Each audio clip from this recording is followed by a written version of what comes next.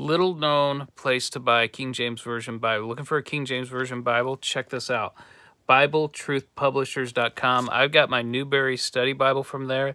Found the best price there, so check it out. A lot of people don't know about it.